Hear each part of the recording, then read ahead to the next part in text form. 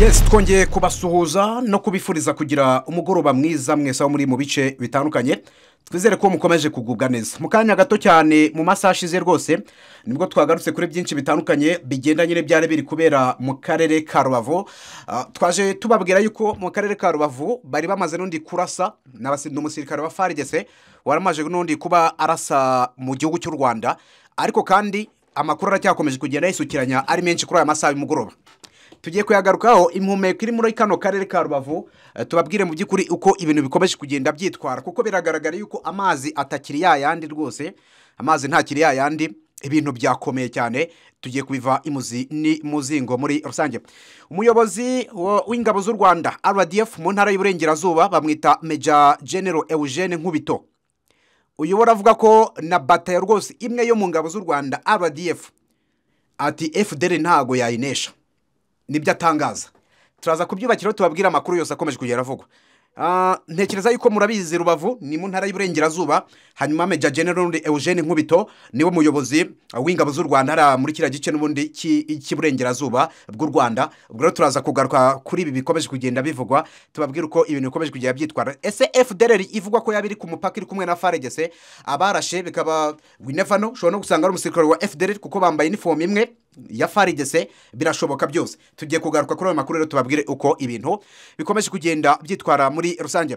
Ariko kandi mbere yo kurasa gato cyane farigese isa nkaho yari yongeye guca amarenga y'uko imyiteguro yo gutera u rwanda igeze. Mu masaha make cyane rwose bihita bijya mu bikorwa ariko hari indi mpumeko ihari n'andi makuru yamaze kuba twinjiyemo imbere ndani ndani mu butaka bw'iki gihugu cya rdc m ventura na yo ntabwo iboroheye dore ko bakomeje gutimbagurana. Ubu ni hasi hejuru ibibombe biracyakomeje kugenda byumvikana n'ubundi muri rusange mu bice bitandukanye bya teritwari ya masisi. Reka twibete dutumike ubundi tuze turambura iyo miripuko yose uko ikomeje kugenda ivugwa.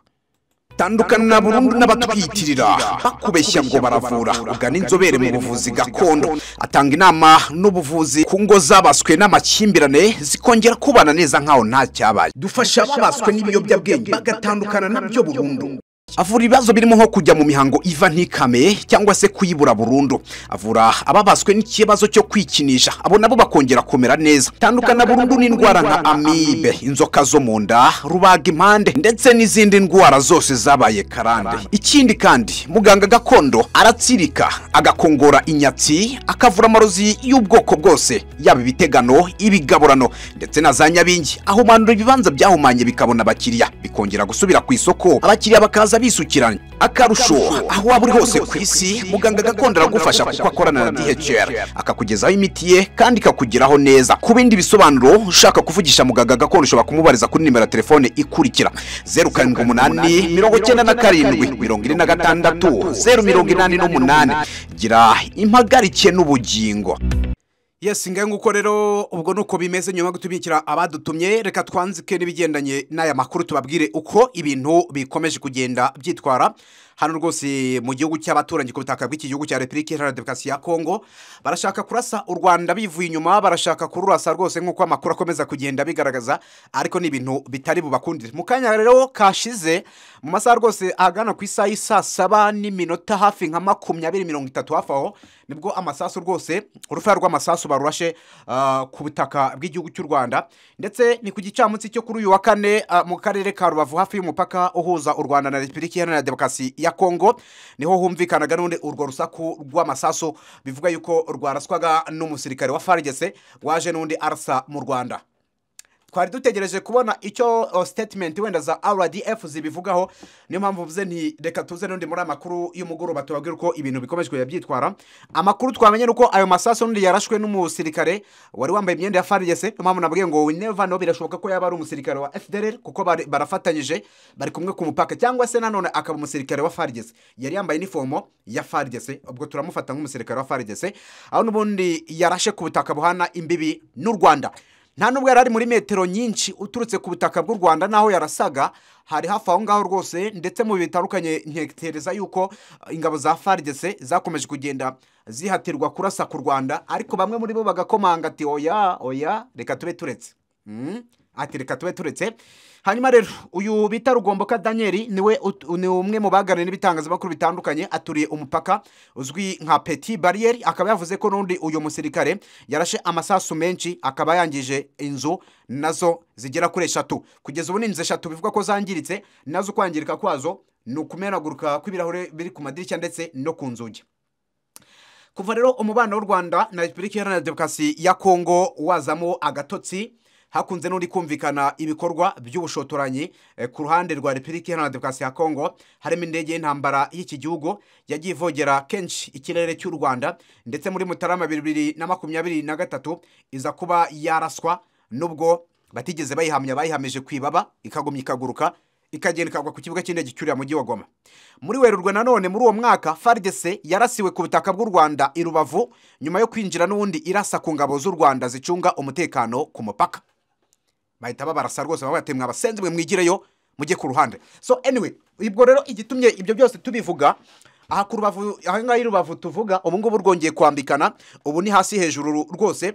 Aya masaha y'umugoroba umutekano wakajijwe mu bice bitandukanye ah, ah, bihana imbibi n'igihugu cya repubulika iharanira demokarasi ya kongo kuko amakuru dufite atariho ivumba arashimangira yuko nyuma y'uko abasirikare ba farigisi bagerageje kurasa ibikompura mu rwanda kugeza ubu mwabanwe umutekano uh, ukomeje kugenda n'undi ucungwa mu rwego rwo kugira ngo hatagira abawangiza. Muri rusange nk'uko rero amakuru akomeza kugenda abigaragaza.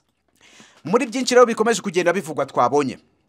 Amakuru arahamya neza ko ibikorwa byose by'imirwano by'umwihariko ibikomeje kugenda byumvikana ku butaka bwa rdc bikomeje gutuma hari abasabwa ari abasabwa ah, kuza kuraswa ku rwanda. Nubwo bitakomeje kuborohera ariko n'ubundi mu by'ukuri hari abari kubisabwa. Ese mw'abantu mwe murumva ko ibintu bikomeje kugenda bikomera cyane ndetse rwose binateye ubwoba nk'uko amakuru abigaragaza.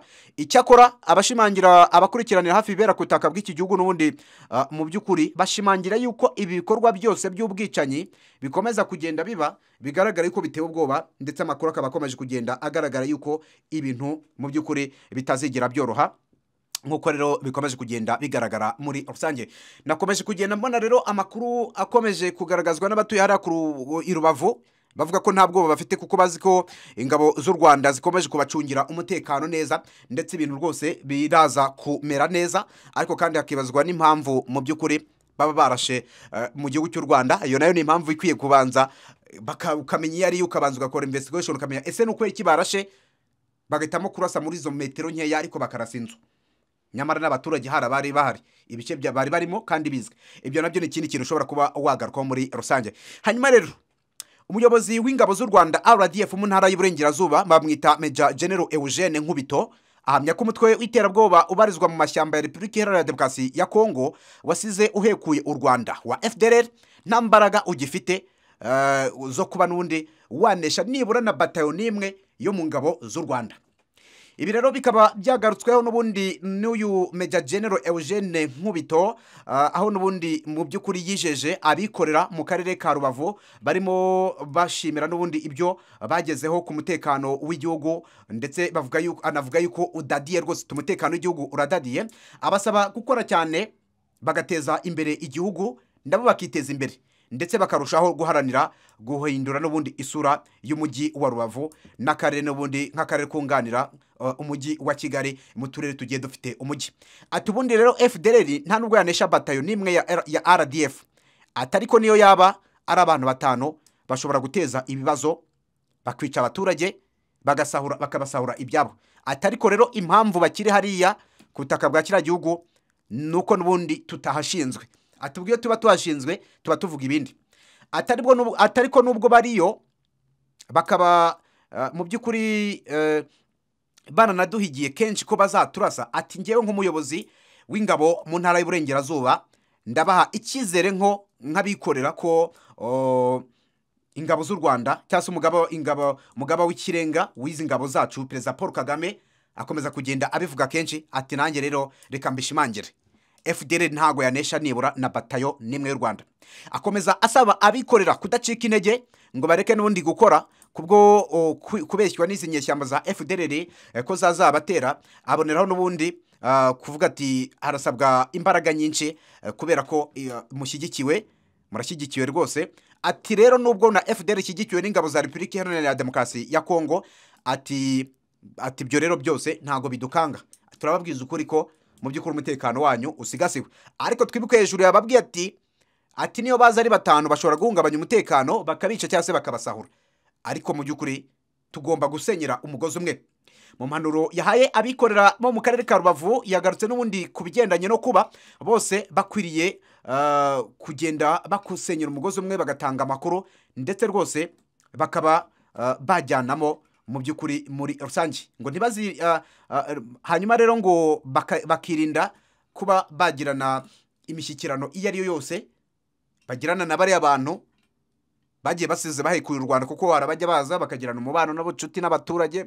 Ukumva ni ibintu nk'ibyo ngibyo nyamara bidafatika. Ku itariki ya cumi n'umunani gashyantare bibiri na makumyabiri na kane guverinoma y'u rwanda yari yagize icyo itangaza ku ngamba zayo z'umutekano. Mu itangazo ryashyizwe hanze na minisiteri y'ububanyi n'amahanga y'u rwanda.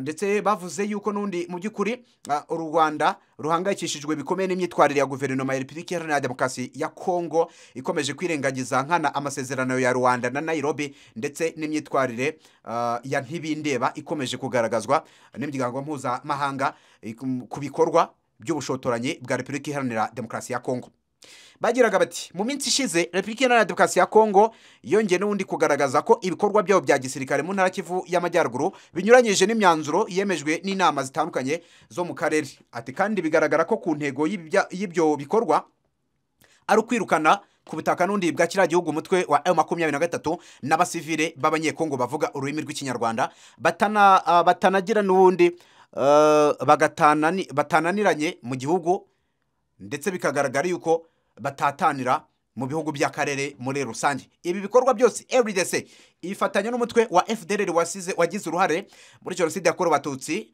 mu rwanda mwaka w'igihumbi kimwe magana cyenda mirongo icyenda na kane. Imvugo zihembera urwango n'ivanguramoko bikomeje n'ubundi eh, kuba iturufu y'abanyapolitike ba leta ya kongo iyobowe na perezida fres antoine kisekedi chilombo ati kandi ibikorwa by'ivanguramoko itoteza ifunga ndetse n'ubwicanyi bikomeje kuba akamenyero hariya muri kivu y'amajyaruguru. Umutwe wa fdr ukorana byeruye n'ingabo za repubulika iharanira demokarasi ya kongo fardc nk'uko byakomeje kugenda bigaragara muri raporo z'impuguke za loni. Ibi byose rero bibangamiye umutekano w'u rwanda kubera ko ibyo byose kandi u rwanda rutahwemye kubigaragaza kandi rugaragaza yuko uruhande n'ubundi ah, rugaragaza uruhande ku kibazo cya M23 ko kigomba gukemurwa binyuze mu nzira za politiki. Aho kugira ngo binyuze binyure mu nzira zo kuvugisha ibiturika ubwo ni inzira z'imbunda. Ati ibyo rwose ntabwo byakemura kiriya kibazo. Abayobozi ba leta eh, ba leta ndetse n'igisirikare cya repubulika iharanira demokarasi ya kongo harimo kisekedi chilombo ubwe ntibahwemye n'undi gutangaza ku mugaragaro ko icyifuzo cyabo ari ugutera u rwanda bagahindura ubuyobozi bakoresheje imbaraga. U rwanda n'undi ntirushobora kujenjekera aya magambo ari na yo mpamvu rwashyize n'undi imbaraga mu mutekano warwo. Leta ya amerika mu kuboza bibiri na rimwe niyo yashyizeho fdr yari izwi na- nka ariri interahamwe za exfar ku rutonde rw'imitwe y'iterabwoba nyuma yaho n'ubundi uh, uyu mutwe wiciye ndetse ukanafata ku ngufu uh, abagore ndetse bakanongeraho n'ubundi mu by'ukuri kugenda bakora ibyo bikorwa by'ubwicanyi mu bihe bitandukanye. Imikoranire ya rdc na fdr yakagombye n'ubundi kurebwa n'ikibazo cya politiki cyo ku rwego uh, rw'igihugu aho kuba n'ubundi abantu runaka bareba inyungu zabo runaka. Guhagarika imfashanyo ihabwa abasirikare ba fdr guhagarika kugerageza n'undi gutera u rwanda binyuze muri ibyo bikorwa byose.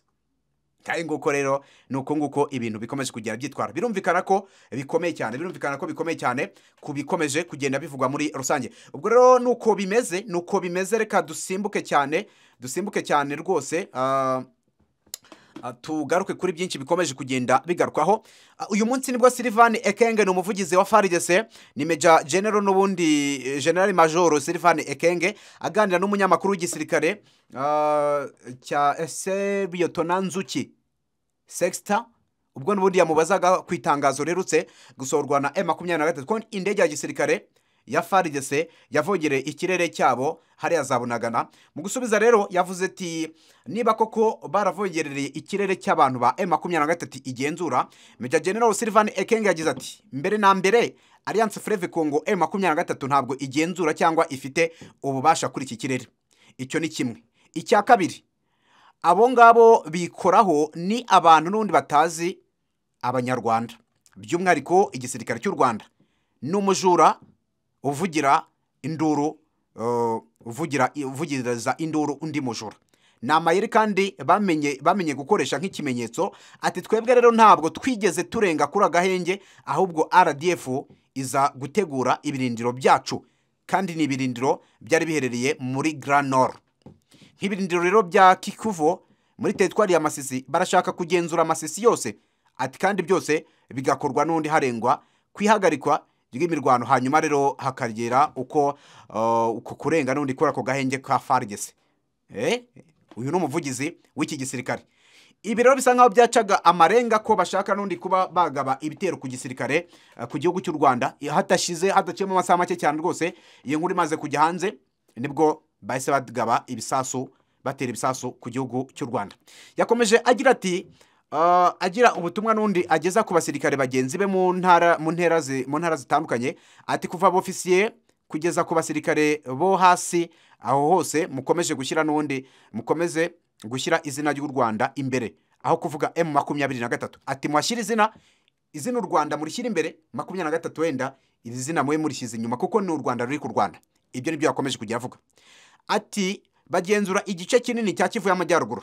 Yagize ati twebwe abasirikare b'ingabo z'igihugu twebwe abofisiye b'igisirikare cy'igihugu twebwe abasuwa ofisiye ndetse n'abasirikare bato. U rwanda n'igisirikare cyarwo bazi abo bari bo. Ntibazahinduka. Uyu munsi rero tubahaye ah, andi andi mahirwe.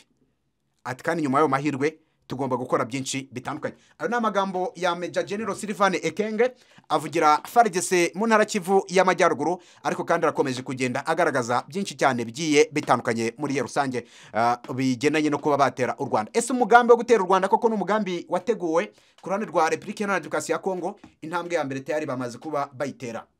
Bamaze kuba bayitera ubwo reka munyemere tuze kugenda tubigaruka none muri rusange turebera hamwe uko ibintu bikomeje kugenda byitwara. Dusoreze kuri iyi nkuru ivugwa hano za kikuvo. Kikuvo rwose ah, hakomeje kumvikana byinshi cyane bigiye bitandukanye ariko nibigendanye n'imirwano.